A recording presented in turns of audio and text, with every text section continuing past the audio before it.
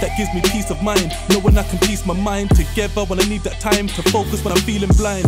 Control, I'm the one who's controlling this. If you see my soul, then you know I'm sharing my consciousness. I'm in control. That's hanging loose, but any disrespect, we grip it tight, aim and shoot like it's tragic.